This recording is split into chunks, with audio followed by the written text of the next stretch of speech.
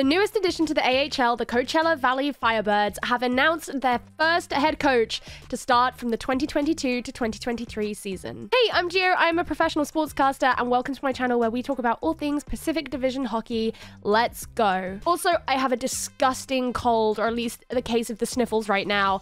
So if I look awful, you know why. The Coachella Valley Firebirds have announced that Dan Bylsma will be their head coach starting from the new season when the team enter the American Hockey League. Dan Bylsma is a very storied coach and actually before then a professional player as well, having spent a decent amount of time on the LA Kings and the Mighty Ducks of Anaheim, amongst others.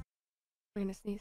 Oh no, now I look like I'm crying. His first NHL head coaching experience came in 2008, where he stepped up as the interim head coach for the Pittsburgh Penguins after the firing of Michel Therrien. He was the youngest NHL head coach at the time at just 38 years old, but within his first 25 games, he managed to secure the second highest number of points accrued by any NHL coach of all time. In 2009, he helped the Pittsburgh Penguins achieve their Stanley Cup win, and in the 2010 to 11 season, he was awarded the Jack Adams Award for Most Outstanding Coach. And by 2013, he was the fastest NHL coach in history to have reached 200 wins. His time at Pittsburgh came to an end after Jim Rutherford joined on as GM, and he ended up signing a five-year contract to join the Buffalo Sabres. Bylsma's time at the Sabres was cut short by three years, reportedly due to a personal conflict with at least one player, but that led him to going on to join joined the Detroit Red Wings in 2018. In 2021, Bylsma left the Red Wings and went on to work with the Charlotte Checkers, which are the AHL affiliate of the Florida Panthers, but also jointly with the Seattle Kraken. This means that Bylsma is already uniquely familiar with a number of the prospects of the Kraken organization, and he will enter into the 2022 season